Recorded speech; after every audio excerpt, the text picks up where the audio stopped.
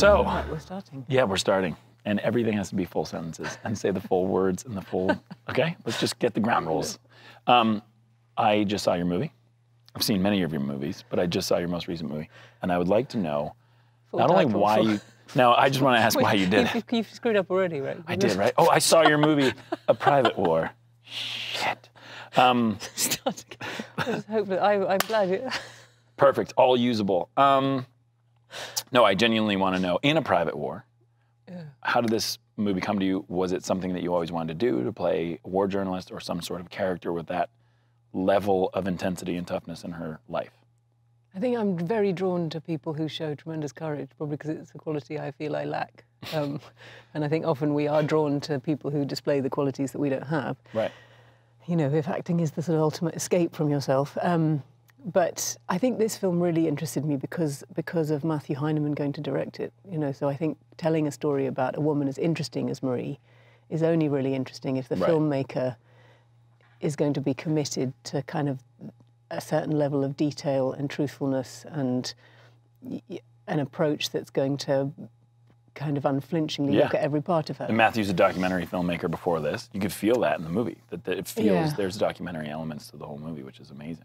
And I think when you're trying to convey somebody's life, um, you know, who's been lost very recently and who people love very fiercely and protectively, you know, you you want to feel that you're going to get at something that does feel truthful. Right. And I think Matt, you know, that was his big anxiety about, you know, making the transition to narrative is could he get, you know, could he embrace the same qualities that he embraced in his documentary, Right. which is, you know, the ability to keep a camera rolling past a kind of moment where something has perhaps ended and, and find a, you know, more stuff and, and stuff that feels real. How was that, by the way, trying to get to know her through the people who knew her? Because as an actor, the one thing that blocks you is when you feel bad about doing something. And so if people are like, I don't want to talk to you about this, was it difficult? Well, there was actually there was one. I mean, there were a couple of moments where I thought I've got to give up. Actually, you know, there was. I think it was. I realised so quickly how painful it was to the people who knew her. So you're having a conversation, and one one of her friends said, "You know, you have to understand, I will never like anything that's made about Marie." And Wow. that is kind of crushing. And I thought, God, I have to. I don't know if I can do this hmm. unless I've got this support. And then one day I was. I rang Matt at kind of middle of the night and I said, I don't know if we can do this. And, and the next morning, this taxi arrived at my door in London and there was nobody in it. Just had this bag. And it was one of her friends had sent me a sweater and a jacket What? that had belonged to Marie. And, and, and it just, it was kind of the message was keep going. That's amazing. Um, and I wear that sweater in the film when we're, and there's a, there's a scene in a boat where her, her, one of her Mm-hmm. close friends is trying to get her to go in for treatment for PTSD. Um, so it, it's, but also there was just, I fell in love with her really. You know, you start watching Right. the footage of somebody like Marie, and she's so kind of incandescent, but in a, in just a way you admire. You know, it's her words, it's the force of her, it's the you know, nothing is appealing to be liked. She's mm-hmm. not asking you to, but, but she just has this magnetism. And I, and I thought, well, the only interesting way of doing this film is if I can kind of put that on right. screen and be She her. doesn't seem like someone who would want a movie about her, do you think? but now No, she'd love it. I mean, as a as a journalist, I think she she was really someone who doesn't want to be at the centre of the story. Right. That's always the problem. And and Right. you know, obviously, when these Marie and her photographer Paul Conroy went into Syria, into Homs, and you know, Marie was tragically killed, and Paul was you know grievously wounded. Mm-hmm. But survived. You know, suddenly they became the story, which is completely not what they were trying Right. to do. Which is they wanted to shed light on the plight of the Syrians. Um, but I think that's one thing that I, I mean to credit Matthew, where credit's due. He had all, all the background players of our movie were refugees wow. from the different conflict zones we were covering, living in Jordan where we filmed. Wow. So Marie would definitely be be proud of that. That the Syrians in our final sequences get to tell their stories in their own words, Right. and, and that you know. Um, Personally, for me, some of the moments in the movie that made her the most heroic for me is when you showed her emotion. That that her witnessing the mass grave and things like that. There wasn't this steeliness, this Hollywood thing of, you know, I'm a steely journalist. It was like, no, this is horrifying and I'm experiencing it. I don't want to experience it, but I have to. I thought that was actually what made her so heroic in the movie. I think she was someone, you know, there's a myth all the time about the war correspondent being this, you know, fearless is the word Mm-hmm, that everyone uses. She was not fearless. Mm. She had tremendous fear, and the real courage is having the, you know, is going there anyway when you're Right. experiencing deep fear. But you know, I, I learned because because Matt was constantly putting us into these situations where the people who were forming the fabric of our movie were reliving experiences for real. So Mm. in that mass grave sequence, you know, that's one day. We don't get to do it twice. There's a there's a set Wow. basically being built and dressed by the art department with corpses and remains, and, and we have an excavator come and start digging up. And there are many Iraqi women currently living in Jordan who are, you know, surrounding the graveside. And uh, early on in the day, they were all sort of clamoring about who's going to get paid more, and I'm nearer the front, and I should get more money. And then suddenly, the the digger started doing its work, and remains started coming out, and you could just see these women starting to relive something so deeply painful and real and the scene took on its own momentum. And, and I mean, I, you know, there is no way, as you say, that a war correspondent who sees these things, it's not your grief to feel. You Mm. know it's not your pain, and yet, boy, do you feel it. So where the hell does Right, it go? right, right, is, right. is always the question. And I think, you know, that's what we took back to London. So you, you can imagine if you're looking at a script like this and you do all the war zones and then you go back to London, you think, well, maybe the kind of tough stuff is over. But actually, it's not because it's the private loneliness of being alone Right. with what you've seen that kind Right. of is the real cost of the job, I think. Um, and having worked with uh, one of the greatest honors of my career is being able to get more involved with the military and, and that idea of coming home has always fascinated me this idea of how do you come home when you've seen those things and experienced those things and i felt that with your character was how would you ever the, the scene i'm thinking of is when you wake up in the morning and you're looking out at the river and you shut the door and it's very difficult to look at a serene beautiful london skyline after you know what's going on. It's almost like there's a unlocking that you can't put back in a box once you've been there that's very true, but I think that's not in our movie. That's No, the yeah the Which scene? when you right after you wake up in Stanley. I only know Oh, because it was my yes, brother-in-law. of course. but yes, after you, like, you shut the door. Because I, I know her movie better than she does. yes. Literally, my mind went to a piece because there's a piece of documentary footage that I watched of Marie. Oh really? And suddenly I had a panic that you'd seen the documentary. No. Can you imagine? Um, So there is a there is a piece of footage of her because she lived by the river and always the kind of calling to the water was there. Absolutely, the scene after with, Oh, with God. Stanley. What's your name? Paul, I'm Marie. I know, So you're freelance? always Any good? the best. Come on. What now? so I was just shooting um, a series with an actor who was wearing an eye patch, and he kept um, asking if he could remove it in certain wide shots because it was driving him absolutely crazy. And he said he wasn't. He was off balance. He couldn't run and do certain things, and it really started to frustrate him to the point where he says frustration as an actor, and I said, "No, your safety as a human being. I think you're worried about breaking a leg or something." What is it like working with an eye patch for an entire movie? People people ask me sort of, could you actually see through it? Like, Right. no, you know, what would be would the point the of that? purpose. That would kind of defeat everything.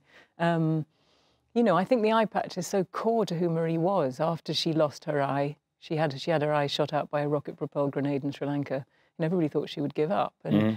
and um, she carried on, and, and and it's a serious disability. You know, you're you are literally blindsided. You have a blind side where you cannot see, and she Right. took that disability and went into conflict zones. Um, I mean, it no doubt gave her a, a certain swagger. You know, she was not unaware of the fact that it looked. Right. quite cool. Right, right, right. And the Sunday Times, pirate, definitely, yeah. that was when they started kind of putting the image of the correspondent next to their byline right. because it sort of made it feel like this Oh, is the paper that goes Was that the further. first time they started doing that yeah, for her? Yeah, Wow. yeah, because it obviously kind of, you know, it, it, it combines that image of glamour and danger, which she was always quite ambivalent about, but, you know, also embraced to a degree. Um, and uh, and I mean, it was very helpful because she she was such an interesting physical study, Marie. I mean, Hmm. of, of anybody I've observed to play, um, you know, talk about someone whose whole life reads in their body. It was so. Um, she's so vivid, and I think all these strange head movements that she has are all Hmm. linked to the to not being able to see. So when you scan a room, you know, it's a completely different relationship to the room than you or I would have. Right. Because you know, if I want to see around there, there's no kind of glimpsing. You've got to fully turn your head. And Also, you say in the movie that you lost the ability to judge distance, right? You can't uh, judge. So there's and- especially especially walking on uneven ground, which made sense then of all that. As soon as I started practicing with the eye patch, I made sense of her whole physicality, the way she walked, and Right. and also sort of lighting of cigarettes and, the, and this constant anxiety about your good eye. I think that's Right. the other thing that's right, really right, key Right, right. is the fear of sympathetic blindness, the Right. feeling that you could, you know, that this you, you're intensely vulnerable if you Have you one, suddenly yeah, yeah. Totally.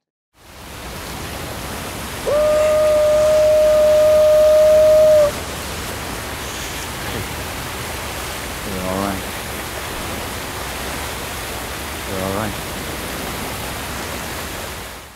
I mean, but I think as an as as an actor, if you are, I think we do seek those things that are, are sort of physically or, or challenging or change the way you negotiate the world, Mm-hmm. which you must have felt doing a quiet place Mhm. with not being able to speak and having to sign and Absolutely, and I don't know how you felt, but there was definitely a huge feeling of fear in a good way that you were you were scared to pull it off. You were scared. Is it is it, are words something that not only you need as an actor, but you need as a director and editor to sort of meter your movie? That that's there's an editing timing to words that if you don't have them, will you have that? And I remember thinking about that. But the the cool thing about not being able to speak in a movie other than with sign language is you. I left the door open to allow organic moments to happen. So I had the whole day planned, but I always thought if something comes in and beats it, let's let's do that. And what I wasn't prepared for, I knew that the scenes would be pretty interesting, but I, I wasn't prepared for them to be, in my opinion, more beautiful than anything I could have written. There was something to, I remember day three, watching Emily do a scene with these kids. And these kids, Emily was great in the scene, but these kids were so unbelievable that when you took away their ability to speak, they were emoting mm. some of the purest performances I had seen ever. And I, I was tearing up and I turned to my producer and I said, my God, this might work. And I'll never forget, he said, Hey man, we are way too far down the path for you to tell me this might work. um, but you, you, you think it's gonna work, but you never know until you really see it. And, and it was beautiful. As far as my acting with no words, it was, it was kind of refreshing for me. My favorite scene for me, selfishly, was the scene that I'm on the path with my daughter. And I really wanted to delve into this idea of two people who were not only best friends, but they were probably carbon copies of each other before a horrible tragedy happened. and the father, as much as he doesn't want to and knows he shouldn't, he does blame her for the death of his son. And hmm. she feels intensely like the black sheep, not only because she's deaf, but also because she created this situation, so she hmm. thinks. And to have two people trying to communicate lovingly and just without that emotion behind it, without that warmth in your eye, was so bizarre and, and moving. And it was so intense, especially to work with her. She was, uh, Emily and I, on the same night driving home, said the same comment, which was weird.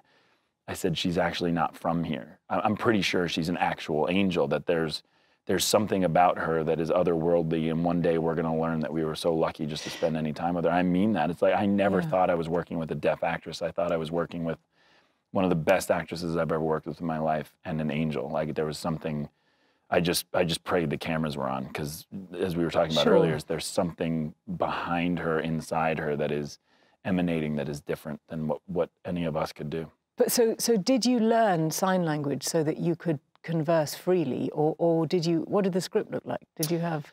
The script was Written written word, yeah, and I said that. So instead of you know the on the dialogue, instead of saying you know screaming or loudly, it said signed. You know this is being signed, and so all the all the dialogue was written as if we were talking, but it was always signed. We learned our our scenes very quickly, and to be really honest, I did the best I could to learn as much ASL as I could. But what happened was, as soon as the the actress who plays my daughter is Millicent Simmonds, and she is uh, something different. There was something different about learning ASL, and then when we finally had her on set, because I know this sounds weird, but she was so much more loving and warm how she was. There was like this understanding of the fact that you're even attempting is so sweet Her of you. language, yeah. So I will meet you halfway in some weird alternate form. There, she can't meet us halfway and teach us sign language, but she started understanding. And what I mean by that is at South by Southwest when we premiered the movie, I remember my mom went over to uh, Millie to, to tell her how moved she was by the performance. And Millie always has a, a uh, interpreter with her, and she'll, the interpreter will stand right next to you, and you just speak directly to Millie. You never look at the interpreter, and the interpreter will just um, uh, be translating as you go along. And Millie will look at you, She never looks at the interpreter. She's always looking at you because she says that's where she finds the intention. She'll actually know more about what you're saying before she knows what you're saying. And so this day, my mom ran over to her and um, and said, I, I, you know, I love the movie and was getting emotional. And you saw her interpreter running across the room to try to be there for my mom. And Millie put her hand up and said, I understand everything this woman's saying to me. And I was just like bursting with tears. It was so intense, so beautiful. And why did you feel so that it was so important to cast someone who was really deaf? well, it's interesting. It was a non-negotiable thing for me. I give a lot of credit to Paramount. It was actually my first call to the studio, and I had never directed a studio movie, so it's pretty. It's pretty gutsy to go in and say, "I'm going to direct my first studio movie." I've never done visual effects, and um, uh, also it's all sign language, and I have to cast a deaf actress. All these things that you've never done before, and they said, "Sure, go for it." The reason why it was non-negotiable to cast someone like Millie to, or a deaf actress to play a deaf actress was not only obviously the the um, performance is more organic because someone's living through it every single day. That's the obvious reason. The more important reason to me was I needed a guide. Uh-huh. I was writing a movie about a family who had a deaf child, and I know nothing about that. And so I needed someone to walk me through what, is, what do you feel when you wake up in the morning to be the only person who can't hear in your family? Do you feel left out? Do you feel empowered? Do you feel bitter? Do you feel frustrated? Do you feel at school? Do you feel a sense of community with people? Do you feel left out? All these things. And she was just an unbelievable open book and her entire family. They let me know every little detail about her. Actually, one of my favorite stories is in the movie. Um, one of my favorite things that we decided to do, again, letting organically something happen. It was never in the movie, never in the script. I asked her mom one day after Millie walked away from talking to her mom, and I said, Can she hear anything? And she said, No, she can hear a low level sort of hum or a rattle, but there, you know, if you were speaking to her, she could never hear you. But if something loud crashed behind her, she'd hear a tiny bit of it, but she'd also feel it. And so when we were doing the sound design, I said to the guys, I want to attempt something. I want to actually mm. attempt exactly what her mom said. I think every Yeah. time we cut to her perspective, We let's cut out sound, but let's not go dead silent. Let's have this presence. Yeah, and it worked so. Well, thank you. So and well. I had to tell her mom before South by Southwest. I said, "Listen, I've done this thing. I, please, if you feel anything about it, I still have a week. I can change it." And to see her mom come up to me, crying as hard as she was, it'll make me tear up just thinking about it. But um, she said, "I've always wanted to know what the experience was Oh, of my daughter, and I finally have it." And I was like, "Good night, everybody. I'm going to go to bed for three weeks and cry forever." It was the most moving experience, and that organically came from this you know family that we had created you know this this trust through not only the actors but the crew and the families and everybody was in on this thing 100% But I think, you know, in a film where you have to be silent, you know, that intense focus on someone's face, the need to Yes, communicate, to yes, read, to yes. Pull meaning from someone's eyes, you know, she has that in buckets, but you and Emily d- do the same. And, and, um, and so does Noah. And, and it's, it- you know, you really feel, I feel acting is so much about that it's it has to be eye to eye Yeah. communication and soul to soul and, and and and then you sort of distill it down to its purest form and it's it's it's very beautiful and very Thank you. Very very moving but Thank i you. um you know i think you know you maybe you are led by a, a child like millicent how old is she she was 13 14 Right. when we shot now she's 15 Right. I mean, but also the, I think the the whole world of hearing aids. You know, that's such a beautiful detail in that film. Oh, you know, and the you, yeah. care of the care that you take.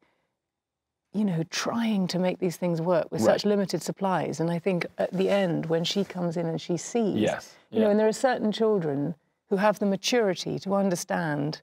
Now I'll cry the. The, the act of love that's gone into Exactly. something like that, and That's she sees exactly right. that in that moment after you're gone, and she sees this labour, this intense Mhm. labour of love. And it's and it's exactly what we were talking about. beautiful. thank you. It's one of those things where this is this is what makes her special. This is what makes i think any actor at a caliber that's beyond technicality is how do you explain to a 14 year old girl you've just found out your dad is dead and he's dedicated his whole life where you thought he didn't, Didn't love you anymore but actually you were the only thing he dedicated his entire life to? How do you explain that in a direction? And what we were talking about before was it was really almost like discussing psychoanalysis with this girl and de- delving into things that maybe 14 and 15 year old people shouldn't be necessarily being weighed down by. And as I was explaining this thing, she saw all the props, she did everything. And I could tell I slowly stopped speaking because I could tell she was mm-hmm. ready. She knew exactly what to do. And that is her first take where she picks it up and one tear goes down. It was so powerful instead of, okay, well, we'll get it in the edit, you know, I'll build the scene as a director. No, I was so lucky that the camera was rolling. I don't know how someone, I'm personally still in awe of both Noah and Millie that these kids could have depth and knowledge and wealth. I know having kids myself, even at a young age, they're emotional like fireballs. There's so much emotion in there and they can't quite articulate it, which makes them more emotional. But to be able to communicate it, to be able to deliver exactly what you're feeling was, I was in awe watching those kids the I whole felt time. it when I, I was on set of it w- while they were making Atonement, and I felt the same thing in Saoirse Ronan, watching her, age mm-hmm. 11, play that part in Atonement. That's exactly. what I felt watching Millie in your film. The other thing I think was so amazing about all the acting in your film is, is per, from a personal point of view, I find fear, I think, the hardest thing to trick my mind into mm. fully believing. I mm. feel that I'm pretty conversant now that I can, you know, trick my body into feeling love, anger, Right. passion, Right. doubt. I don't know, Right. um, despair, for, for, uh, things that impact the body very critically. And I think fear is that is for me the hardest thing to fully escape from your surroundings and commit to and believe in. So Mm-hmm. I just wondered how you, because I felt it so strongly that that people, especially, you know, well, all of you actually, um, but but I, the, the fear was so palpable, Yeah. and I just wondered how you worked on that. or Well, again, I got I got so lucky, but it, it was these conversations. So well, the first thing was creating a family dynamic where people would care about each other. And one of the beautiful things about being an actor who gets the wonderful opportunity to direct is you get to steal from all the other sets you've been on, and you get to decide what to do and what not to do. And I'm sure you've been there where someone says, you know, you're playing a love interest, like go to TGI Fridays, and when you come out, you'll be in love. Just like take this person to dinner, and now you'll know how to be in love. And I always felt that very forced. I didn't feel anything. I got to know that person. So what I decided to do on this one was invite their families over to our house.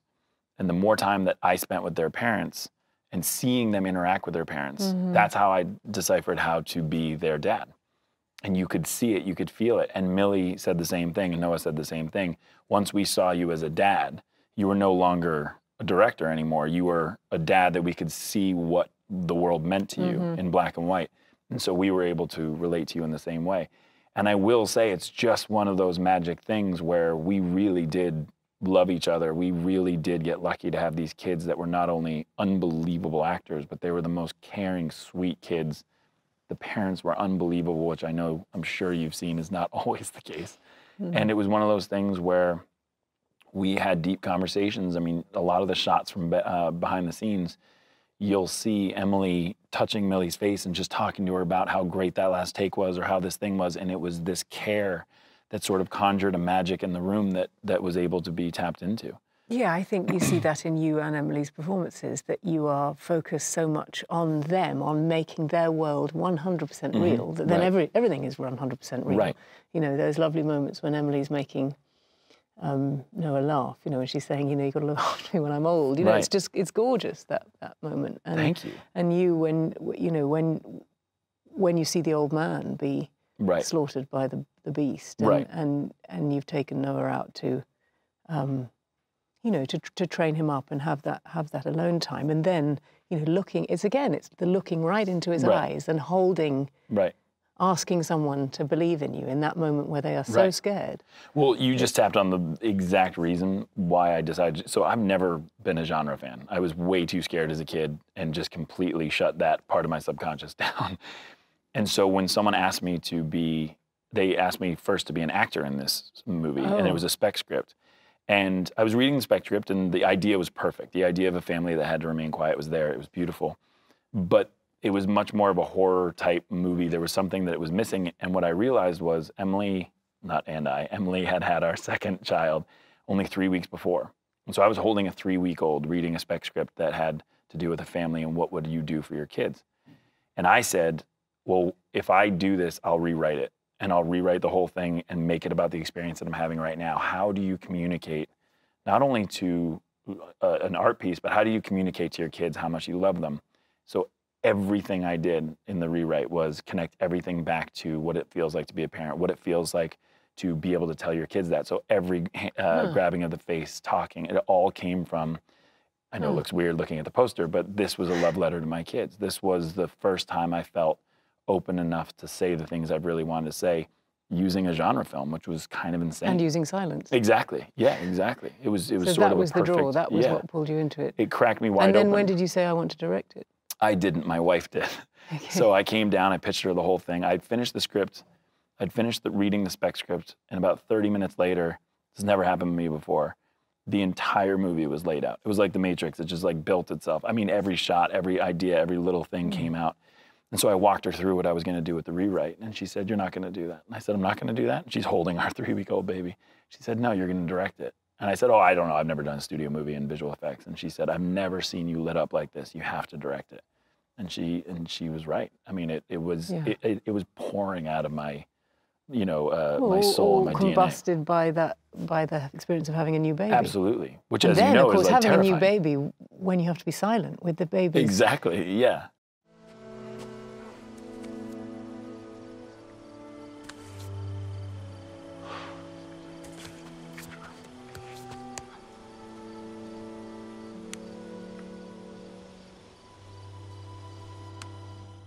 Uh, so a question that I always am interested in is so there are different reasons to take different parts. You're at a level where you've obviously worked with some of the best directors that of, that I think are some of the best directors. Is that something that is a must for you? Do you have to work with someone that you entrust, or is a script and an idea good enough if you're not sure what this director is going to do?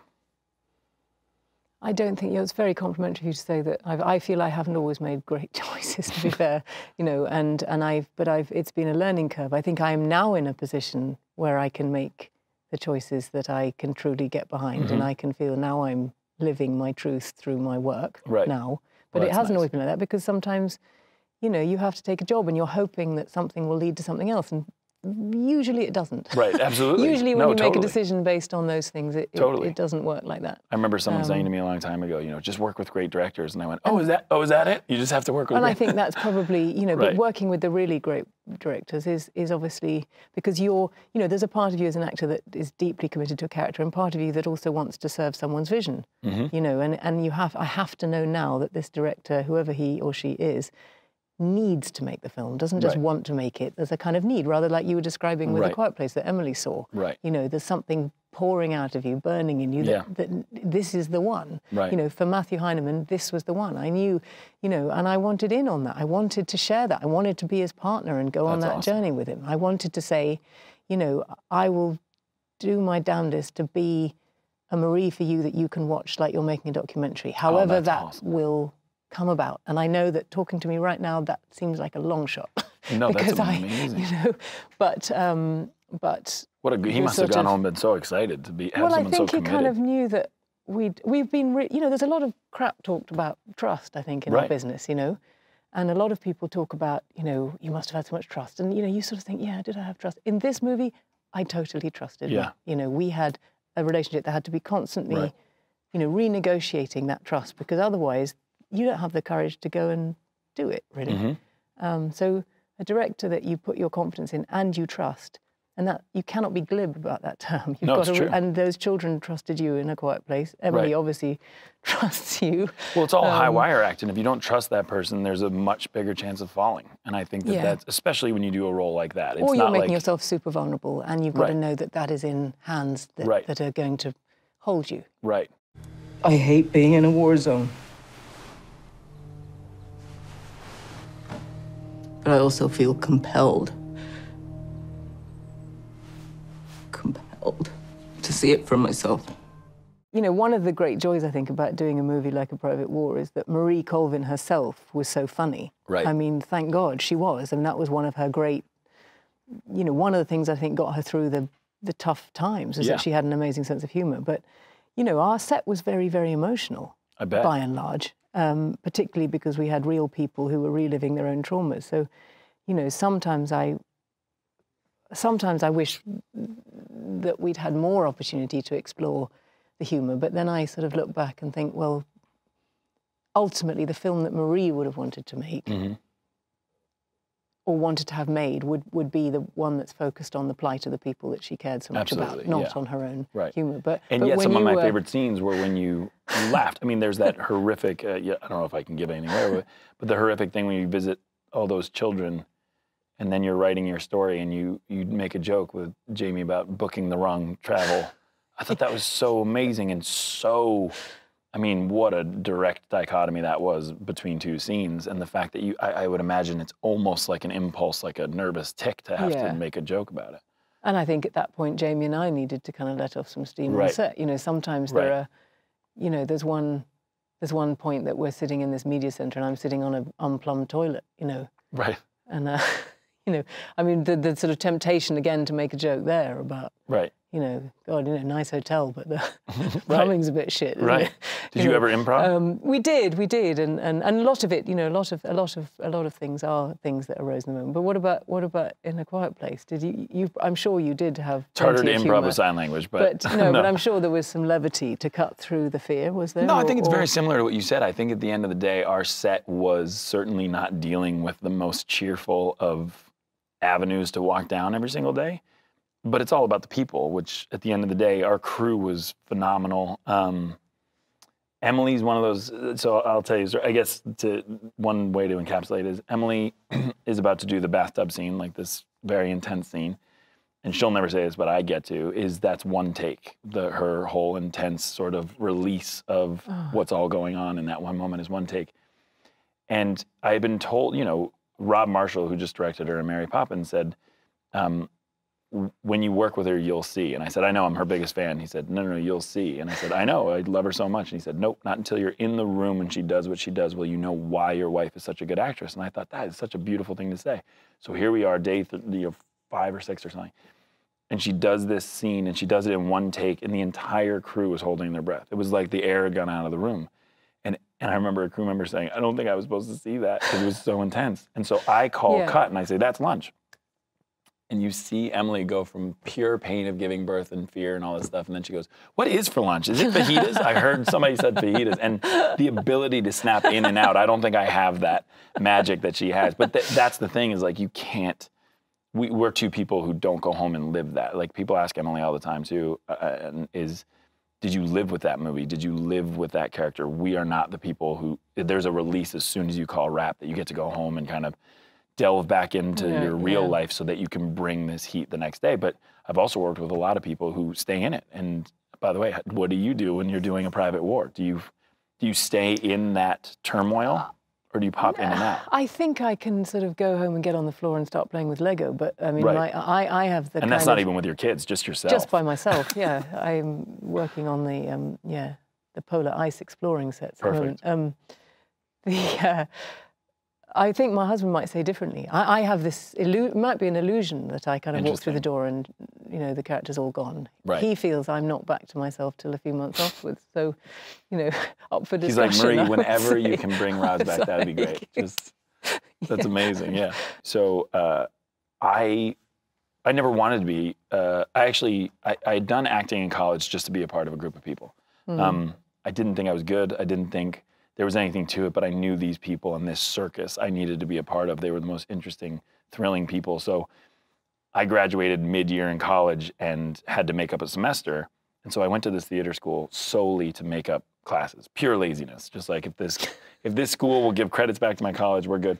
And I ended up totally falling in love with acting, and that's when I decided to do it.